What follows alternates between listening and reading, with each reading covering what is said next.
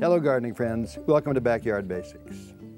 Pretty soon, in the wintertime, we'll be taking our plants in, and in the springtime we'll bring them out for a refreshing period outside, and then they may come in again. They're great decorators and air purifiers, but they need a little maintenance. It's not just taking them out and bringing them in and feeding them now and then, uh, because um, sometimes they can run into insect problems.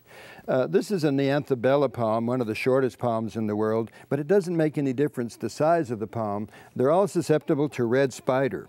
And the red spider is normally found under the foliage, and, um, and you'll see webbing. If it's really bad, there'll be this fine webbing in there. And so uh, that'll be your signal, or the leaves will get kind of chlorotic and then uh, that's another signal. What do we do? Well, well, with some frequency, we can take the plant and mist it and kind of reduce the problem early on. You know, red spider do not like water. So this is a good way on a weekly basis to get in there and uh, wash them off. If it's got a real bad one, take them outside, use the hose, really get it nice and clean. Um, there are uh, products that you can use to help prevent it. Seaweed is one of those. Seaweed is well known uh, for its uh, mineral content and its um, growth support, but um, a lot of folks didn't know that seaweed also helps reduce the problem of red spider. So we get in there, add the seaweed, get underneath these guys, and uh, do some good spraying. It's really important. Red spider can also be on the curtain nearby.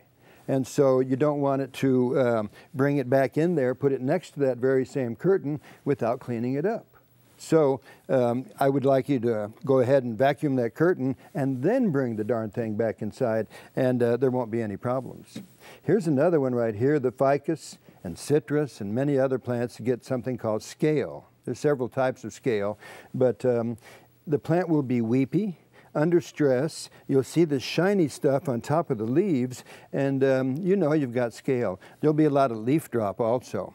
Well, scale is a little bit tough, but um, maybe I would treat it outside because we're going to use a couple of sprays. Neem oil is one of them, and that's a tree extract.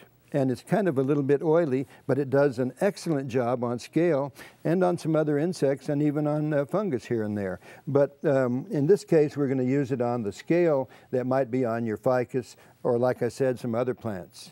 Those little things under the fern leaves, though, are not scale. Those are the um, spore capsules for uh, propagation. So it's not that on those guys. But um, on a ficus, it sure could be scale. And uh, taking a sample to your local nursery would also be very good to identify it properly.